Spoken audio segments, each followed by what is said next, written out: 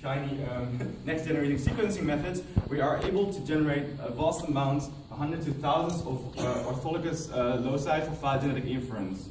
Now, when we're doing gene tree inference, not all of those uh, of those loci will actually uh, concur with another, and there might actually be a lot of um, um, incongruence between those between those gene trees. And there are many, there is a number of biological reasons, such as incomplete lineage sorting, that are actually underlying such this, uh, this uh, incongruences. Now, by incorporating the multi-species coalescent uh, into species tree estimation, we can try to accommodate this heterogeneity in, in gene tree signal. Um, but full coalescent-based methods such as uh, StarBeast or BEST are computationally extremely strenuous uh, and they are not very um, applicable to many of our phylogenomic sized data sets. So a number of, uh, a shortcut has been developed called summary coalescent methods, where you first infer the, the gene trees, and based on that distribution of gene trees, you infer the species tree. Now there's been uh, a few articles that have been uh, criticizing this method, mainly for the reason that summary coalescent methods fail to account for uncertainty in the gene tree estimate. These authors actually um, uh, favor the concatenation method for these reasons. However, I don't think that we should go back to a concatenation method. We should actually try to, with, with those large data sets, we should try to characterize some of these issues. Um, and I think the main objective from this is trying to um, question how we can assess or avoid uncertainty in those gene tree estimates in a coalescent framework. Now the group of um, charismatic little lizards that I'm working on is are lizards within the Cryptoblepharus genus. There are approximately 25 Australian species and I think this is an extraordinarily well group to actually try to, to, um, to test some of these uh, approaches. Because it's likely a challenging there's likely a challenging radiation within Australia, and there's might likely a, a second or a first radiation that's, that's a little bit less challenging because the number of species and the time of divergence between some of these species are longer. So I'm happy that Jason presented before me and um, uh, told, uh, explained a, few of our methods. Um, I used a similar method using exon capture, uh, and whereas Jason was kind of focusing on more the biomedical side of things, I'm going to focus more on the on the inference side of, of our uh, of our approach. Now, in this in this presentation, uh, for all the species, I use a single individual per species. The only thing I want to highlight for uh, on the bioinformatics side of things is that exon um, alignments are a very important part of phylogenetic inference. That is true for Sanger sequence data, but for sure that's also true for uh, next generation sequence data. So therefore we spend a, a quite an extraordinary amount of time in trying to get high quality sequence alignments.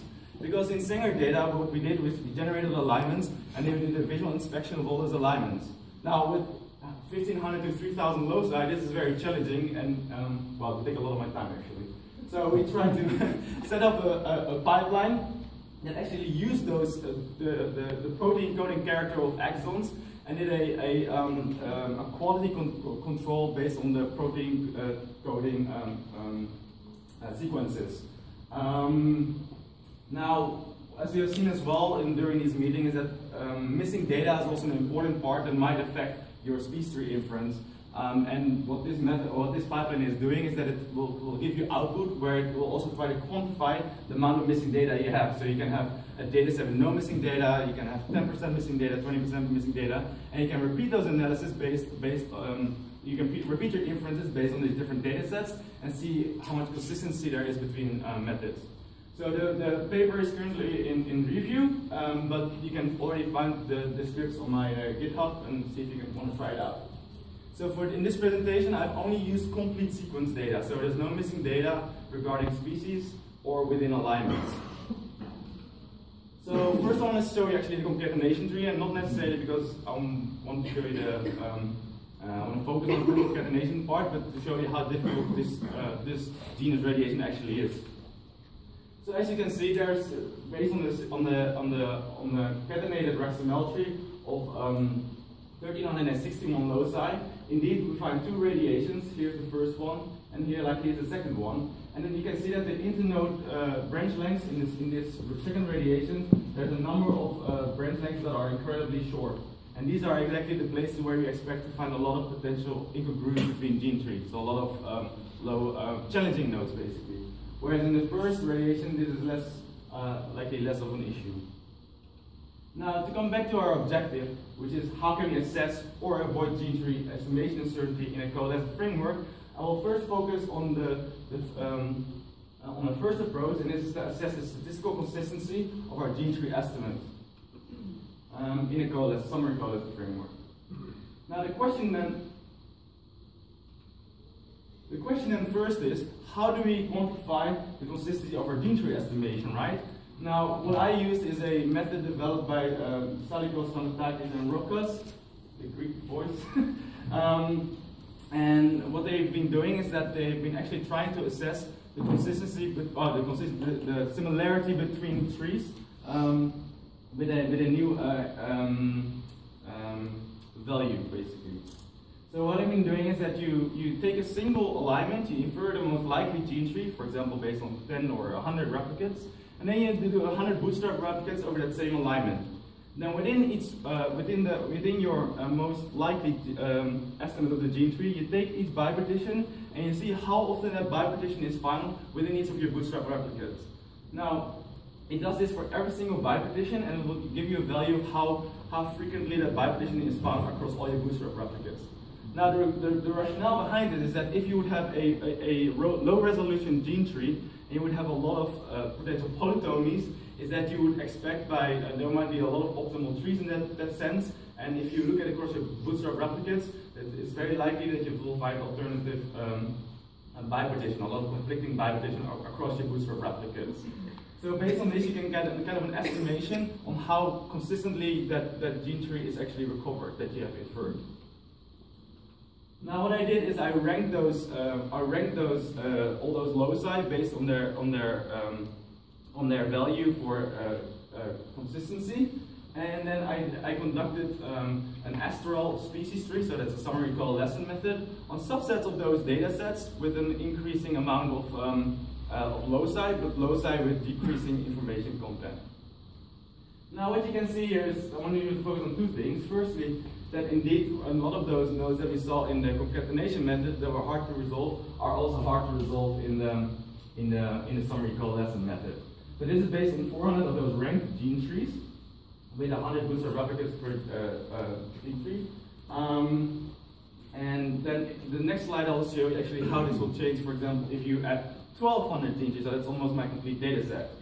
And what you see actually is that if you add non-informative loci or loci with, uh, with, a, with an inconsistent estimation of the gene tree, is that actually that you see that the nodes that were consistently resolved are the same ones that are being consistently resolved, and the ones that are kind of um, were, uh, were unresolved remain unresolved.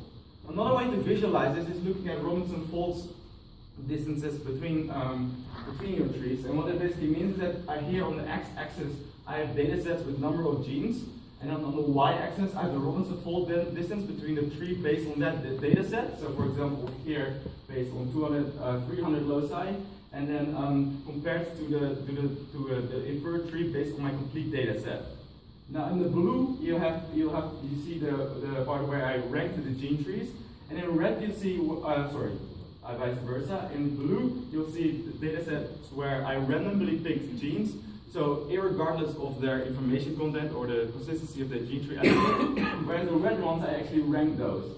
And what you see is that all the action happens within the first 200 to 300 um, loci, where if you randomly pick 300 loci out of your complete data set, is that the, in, the, in, the, beginning, there's actually a, a lot of uh, incongruence between your inferred species tree based on a small data set or based on your complete data set. But it, once you hit kind of like 300, 400 loci, and as we just saw in comparing those two trees, is that you actually you don't hit a lot of uh, you don't get a lot of increased um, um, accuracy of your of your uh, species tree estimate. You kind of hit the most optimal tree, where you don't see any more uh, an increase in uh, incongruence, but you also don't see any further nodal support. The reason why this, this uh, Robinson-Foulds distance doesn't go back to zero is because there were a number of those polytomies, so they will just randomly shift. Now the second part, how we can potentially try to avoid gene tree estimation uncertainty, is by to avoid gene tree estimation at all. So there's has been some uh, there has been some method uh, developed where they actually try to use biallelic SNP markers in trying to estimate the species tree. Um, so here I'll show you the SNAP species tree based on 1483 SNPs which I randomly sampled from each single locus. So basically what you have to imagine is that I get an alignment and I get an X number of, of uh, polymorphic sites within that alignment and I randomly pick a single SNP from each of those from each of those loci. Now you see that the SNP tree also doesn't uh, increase any, um, uh, I don't get a free resolve tree and there's still a lot of uncertainty there, there actually as well. But if we actually calculate the number of parsimony informative sites, you will see that actually there, the number of informative SNPs decreases significantly. And the problem with this is, is that 67% of the SNPs that you randomly select actually only um, um, occurring mutations that occur at the terminal branches. So those are SNPs that you select that don't have any information on some of those uh, relationships that you're interested in. And that's actually, if you already think about, you know, that I have 14, over 1400 plus SNPs, then actually the numbers of ones that have information about the, this whole, the, the, the, the part that are parsimony informative are 582. And not only on the, the problem is here in the terminal branches, it's also that if you have a lot of um, a lot of divergence between some of your uh, that a, lot of that SNP real estate is actually already being taken up here by just differentiating between your two major radiations. So therefore, I, I actually already exclude an outgroup, because if I exclude an outgroup, the number of parsimony informative SNPs will be even decreasing. So what this will result in is that actually if you repeat your SNP sampling, so you randomly sample a single SNP again from each single locus, and you repeat your SNP analysis, is that you actually can get incongruent uh, topologies that can wildly differ and actually can be highly supportive because the number of SNPs that you select there, uh, or that are parsimony informative for those nodes, is very, very low. Now the question is how we can bypass this. Um, and um, one, one way is to actually um, um, potentially try to only select parsimony informative snipes, snips, snipes, snips. but then this will bias some of your relationships and we need to develop some sort of ascertainment bias correction. But uh, yes, I have no clue how to do that. But um, in conclusion, if we think about a summary coalescent um, uh, approach, is that the informative loci will contribute most to your species tree estimation, and adding a non-informative loci doesn't re result in well-supported topological changes. So that doesn't mean that you um, increase your notice by adding an X amount of loci. It also doesn't mean that you are losing any resolution or introduce phylogenetic noise as has been suggested. Now, secondly, is that yeah, when you do a, a SNP-based analysis, I think it's very worthwhile actually to calculate, to estimate how um, how consistent your uh, estimated species, species tree is by doing repeated SNP sampling again and repeating that analysis. Now, lastly, I think in general what can be um, concluded from this is that it's critical to evaluate the loci that are targeted, for example, informativeness of the loci, or for example, if you use SNPs, the, the, the, the SNPs that you are using. And with that, I would like to thank the Moritz Lab, and especially my co-authors on this work, uh, Sally Potter, Jason Bragg, and Craig Moritz, and a whole bunch of other people the lab, and the funding organization, and especially the museums as well. Thank you very much.